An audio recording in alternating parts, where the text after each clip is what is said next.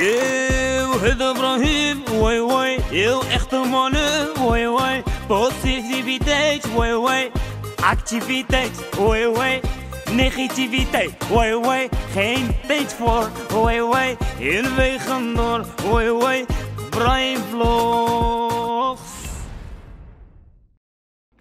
3, 2, 1. Jawel, jawel, jawel. Zijn er weer? Jawel, jawel, jawel mensen, hier zijn we weer. Hé hey, Bilo, vandaag hebben we een speciale dag of niet? Ja. Hè? Wat dan? Met wie zijn we vandaag? Met? Utrecht. Nee, nee. Utrecht kom ik niet. Hij heet e Emmy. Nee joh, geen Emin. En Andy. Andy van der? Van de Tamas. Nee joh, van de meiden. Mooi hè? Hij is heel bekend, ik ben heel bekend. Tegen.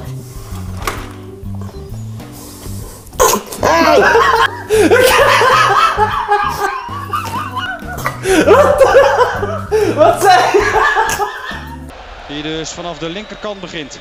En dan met rechts naar binnen kan komen en kan scoren. Zo zeg, wat een goal. Op wil Furens. Oh! Die kan ook hoor. Ja! Yesterday for assist. Yeah. For assist now. You like me, you give assist, you don't score. It felt like he, he understood me and it was easy to get to know him. It, it felt like he came from a neighborhood that where he has met persons like me and um, I always take Mido as an example also because when we came, me and Mido, people were saying, ah, they're different. They're not like, they're too difficult to take care of. But when I saw Van it was feeling like he was one of us also. Ongeacht ik veel bonje had met David Moyes. Ongeacht het natuurlijk.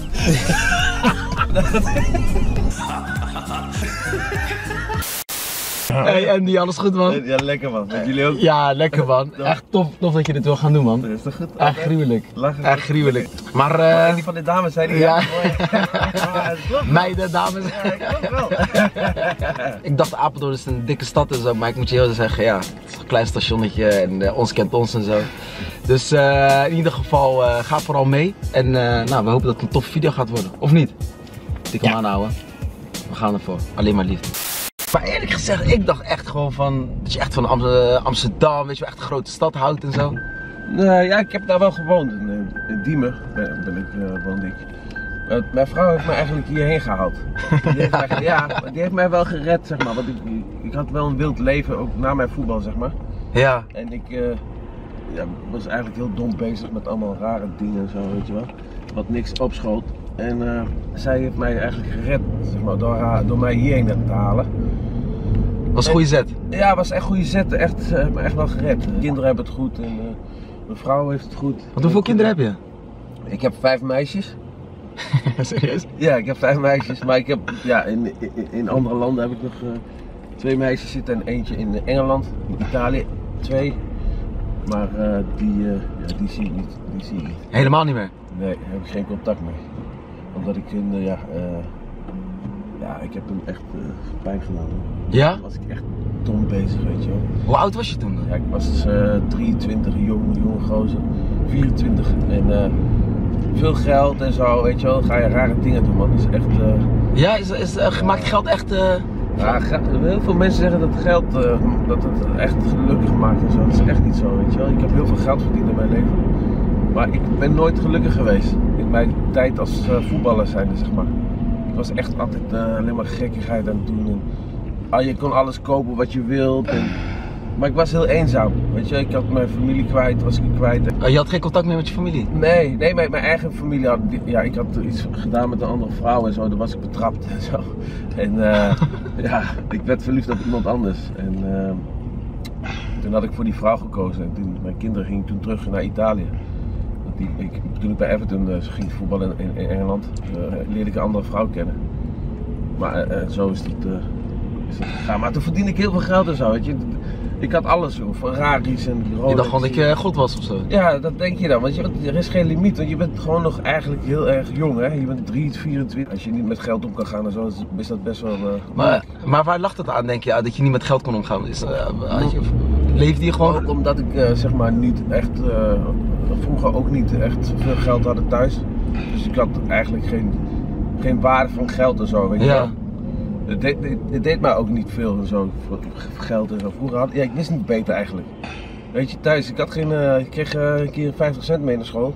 Kon ik een prinskoek kopen en dat was het. Ja, weet je, dus eh, voor mij was dat helemaal niet. Ik, wou, ik wilde gewoon voetballen, voor de rest niks. Dus, Wat waren je kwaliteiten dan eigenlijk? Jawel, ik was technisch hoor. En ik had ook gewoon maling aan alles, weet je wel. Ik, ik, ik dacht ook gewoon dat ik de beste was. Ik zei het nooit, maar ik dacht altijd ik ben de beste, weet je wel. Dus ik, ging, ik was snel en ik had goede, goede voorzet en actie had ik in huis. Maar ik was echt snel, ik was echt snel man. Zou je niet zeggen, als je het niet zo ziet denk je van... Ja, Nee, hè? ik was echt snel jongen. Je zegt het zelf. eh. Ja, dus, eh, maar wij hadden echt wel, was mooi hoor. Als je dan met die bus komt, aan kon rijden van Ajax, weet je wel. Hoe is dat dan? Ah, het is kicken. Ga maar hier links. Links? Dat is echt kicken, want mensen die, die zien jou al, als je al aankomt rijden, Amsterdam en zo, weet je, Ajax-bus. Jongetjes, grote bek, allemaal uit Amsterdam toch? En dan eh, moet, moet- sta je eigenlijk al 1-0 voor. Als Ja. je dan aankomt rijden, iedereen, oh kijk, Amsterdam, die gasten, uh, grote bek kunnen goed voetballen, maar oeh, gevaarlijk. dat was wel mooi man. Ajax, Ajax echt top. Ajax is een mooie club man. En dan eh, ontmoet je mensen als Ibrahimovic en weet ik het allemaal. Ja, ja, Ibra, gek, gekke gozer man. Ja, hij is ook lijp, hè? Ja, hij is Ik heb zijn boek gelezen ook. straat ook, joh. Net als wij. Hij is gewoon als- zoals wij, hè. Hij is gewoon een jongen van de straat. En Malmö komt hij uit, ook uit de ghetto daar. Ook, had ook geen, eh, ja, eigenlijk hetzelfde leven als ik had. En wij konden heel goed met elkaar. eh, bij Ajax ook eh, hadden, hadden we heel gelijk geklikt. De eerste dag dat we elkaar ontmoetten was gelijk goed. En samen met Mido. Mido is nog, eh, ja, Mido is eigenlijk wel mijn beste mattie. Ja? Maar is het voor jou mindset, zeg maar, de manier van denken, is dat niet beter hoe we in Nederland zijn, gewoon wat rustiger? Dat Ja. je met beide benen op de grond blijft? Ja, want ik, ik, ik, ik wilde ook wel. eh pas op. hey, eh, ik wilde ook in Nederland wel blijven hoor. In één keer ben ik eh, verkocht naar Inter. Dus ik wist niet eens dat ik verkocht werd. Ziek, hè? Ja, dus het was dus gewoon handel hè. Je bent gewoon handelman. Hup, doorverkopen, doorverkopen, geld verdienen. Ja. En ma- maar waar lag dat succes aan? Wat was voor jou de formule dat je het, ondanks je, dat je jeugdig was in je hoofd en zo, en ehm, dat je dan toch dat succes had, dat je toch Ajax 1 had gehaald? Ja, ja ik was echt eh, wel bezig met mijn sport en zo, weet je. Ik was heel erg gefocust op mijn doel. Ik wilde het echt halen. Ik wilde echt voetballer worden.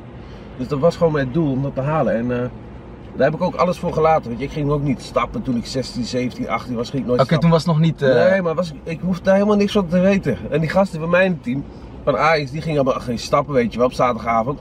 Oh, lekker stappen vanaf. Ja, ik deed dat helemaal niks. En dan kwamen ze de volgende dag terug met verhalen. Ja, dit wijfje, dit, dit, lekker, dit is zo mooi, meid. Ja, maar dit deed mij niks. Maar toen kwam ik in, hier rechts, hier rechts. Zo. Ja, ga maar. Toen kwam ik in het eerste bij Ajax. En toen was ik nog steeds eh, serieus, weet je wel. En eh, geen gekke dingen. En toen werd ik verhuurd naar Twente. Toen ben ik nog een keer naar Ge- Gersonisos geweest, dat eiland. Weet je wel, dat party-eiland. ja, Ik ik het, ik was daar met Twente. Die gasten gingen allemaal stappen. Weet je, weet je wat ik deed? Nee. Ik ging om 9 uur naar bed. ik, ik dronk geen druppel alcohol, niks. Ik, ik voelde het helemaal niks. Dus dat was niks voor mij.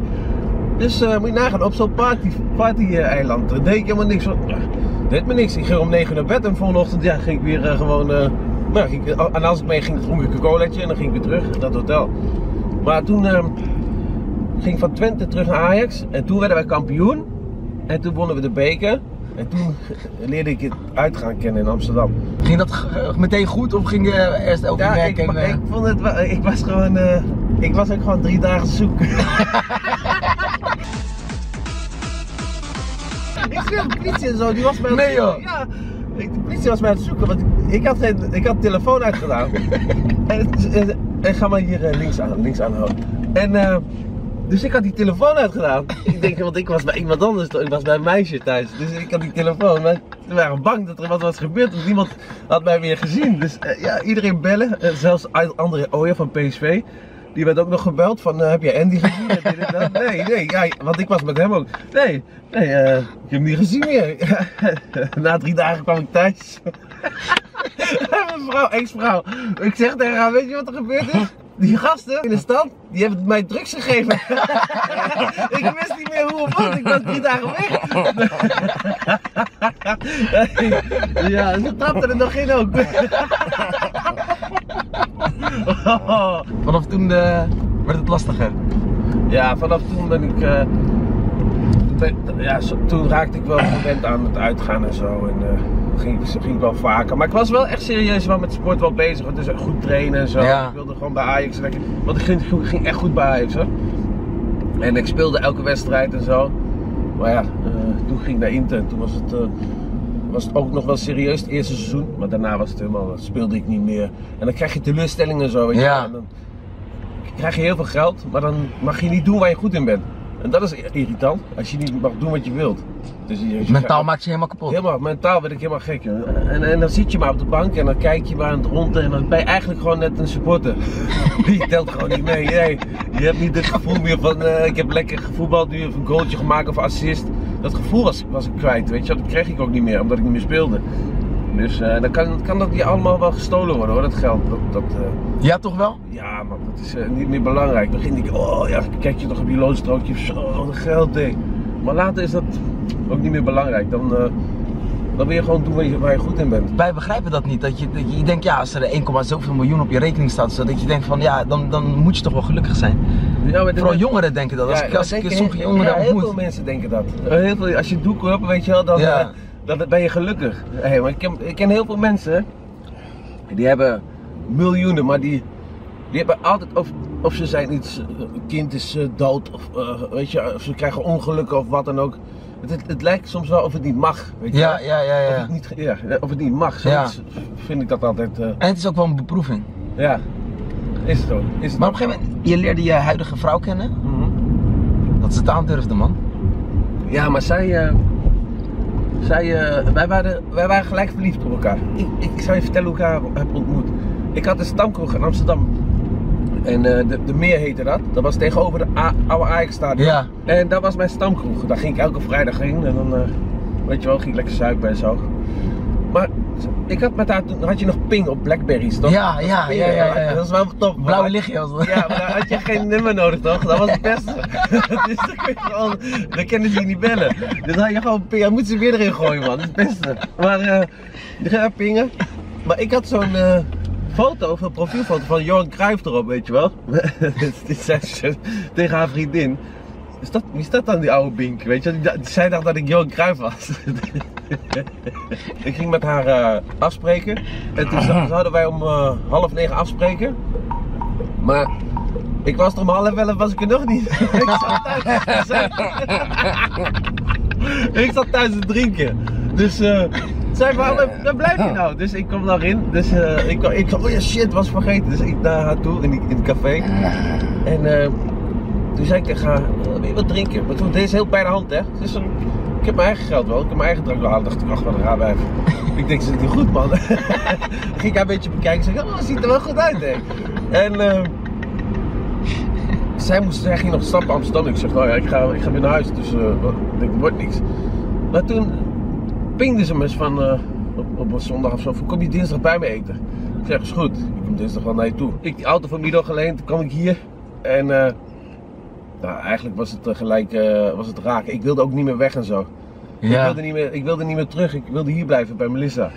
En eh weet je, Spaat.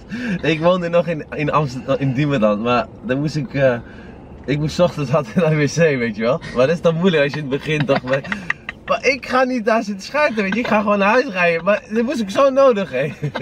Van Apeldoorn naar Amsterdam, vol gas.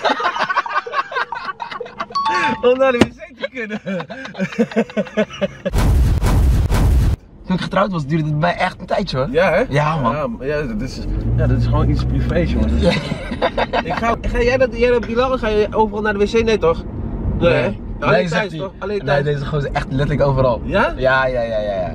Ga je overal naar de wc? Ja. Als je moet, dan moet je, maar ja. En wc is alleen voor echte? Echte man. Ja. Hoe kwam je trouwens op het idee met dat eh, rela- eh, reality show? Het toilet toe en toen ehm, eh, dacht ik van, ik ben toch wel benieuwd wat, het- wat het echt kostte. Dus toen kwam ik erachter dat gewoon een rekening 1000 euro was. Ja, 1000 euro. Is een stukje vis. ja. ja, dus dat was even schrikken. Kijk, zo, zo duur heb ik nog nooit gegeten en dan nog niet eens dronken erbij. Een stukje? En, vraag je allemaal kleine bordjes? Ik zit vol. Weet je hoe dat is ontstaan? Ik deed mee met jouw vrouw, mijn vrouw Vips, weet je wel? Dat eh, ga je Ja. wisselen van vrouw. Ja, ja, En, eh, maar mijn vrouw, die, die zat dus bij iemand anders. Maar ik was met ook een vrouw, maar ik had een lezing voor mijn, over mijn boek. Ergens in Arnhem in de buurt. En daar, daar, ja, daar kom ik vandaan, dus ik had daar wel vrienden wonen nog. Die zei tegen mij, Andy, naar de lezing, kom, gaan stad in. Ik zeg, is goed, mevrouw, is het toch niet, toch? dus ik was ochtends om 7 uur thuis. Maar ze- mijn, vrouw die had eh, een vriendin van haar, Lammy had ze opgebeld. Van kijk waar die is, want hij is niet thuis geweest. Dus die stond in één keer zo naast mijn bed. S ochtends om 7 uur met de telefoon. Ik krijg daar ruzie. Maar op dat moment waren ze gewoon aan het filmen ook. Hè? Want dat, dat filmen ze dan. Ja. dan eh, met, met die vrouw omgaat en zo. Maar ik, ze waren net een camera bij mij ook in de auto aan het installeren. Want ik moest die dag daarna moest je bij elkaar eh, zo'n gesprek Ja, aangaan. ja, met ja, ja. vier, eh, met z'n vieren. En ik, die gozer, die cameraman eruit getrokken. Ik zeg, weg met die camera. ik ben gereden. Drie dagen hebben ze, me niet, eh, hebben ze me niet weer gezien. Was ik bij mijn moeder. Was ik echt koppig. En zat mijn vrouw daar alleen met die... Het is z'n tweeën en ik zat lekker bij mijn moeder. Ik denk, ik ga er mooi niet heen. En dat, daardoor is dat ontstaan, zeg maar. Omdat ik gewoon echt ben, weet je. Ik ga, ben niet nep of zo. Ja, ja, ja, ja. Kijk, heel veel mensen die doen gewoon die, die soort, ja, die, die, die script is een script, weet je wel. Dan zeggen ze, ja, dit en dit en dit. Ik zeg, ik ben gewoon mezelf, hè. Ik ga niet eh, lopen zeuren van, eh wat ik iets gezegd heb of zo. Dan is dat maar zo, weet je wel. Het is Ja. zoals het is. En mensen vonden dat wel heel leuk. Wacht even, Milo. Milo. Zes is vies. Hé, hey, dat is vies man. Nee, man. Dan blijf maar doorklitsen, hè? Dat, dat, dat is op praat. Hoe ben je op het idee gekomen om te gaan eh, vloggen? ik heb dat gedaan. eh, ik zag dat toen een keer bij eh, in, in, in, die carpool, die Engelse, die. die, die, die Zingen met de gasten. ja, dat hij ging zingen in de Ja. auto, weet je wel. Daar ben ik mee begonnen met Anwar. En die was echt, die, die werd echt goed bekeken, dus iedereen pakte het ook op en zo. En eh, al die tv-programma's, die hadden dat, toen werd het al eh, bekend hè. En eh, dat ik dat aan het doen was. Maar dat was wel mooi, want Anwar die zat, die zat dan naast me. Dan reden we ook langs de meer, oude meer. Dat is zeg maar, nu is dat een wijk geworden. Dat stadion is weg, daar hebben ze een wijk opgebouwd. Zei ik zo, eh, dan heb je van de Meidenlaan, hebben ze ook daar. Ja, echt waar? Zei ja. Dit is de middenweg, hier was de oude Ajax-stadion. Oké. Kijk, hier zijn allemaal huizen gemaakt. Nou, Hier zijn al die straten van. eh dan krijg jij ook nog wel een keer. Hier heb je gewoon Andy van der Meidenlaan.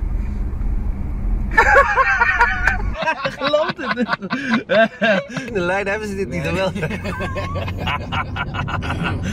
Kijk, dus ruiken jongen. niet normaal, gezonde lucht. Ruik je het Bilal? Ruik je het? Kijk je. Oh, lekker broodje mama. Kijk hier. Die schaap. Aloha. Gaan we, gaan we even. Amahula Ja, zei die Amula, gaan we opeten? Wij zijn echte, echte.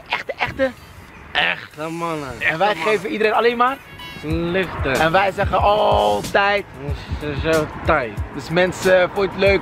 Delen, liken, weet ik veel wat allemaal. En eh, sowieso, we gaan eh, met Andy binnenkort. Nou ja, ongeveer over zes maanden, weet je natuurlijk nooit. Maar er komt in ieder geval deel 2. Alleen maar liefde. Mooi. Arrivederci. Yes.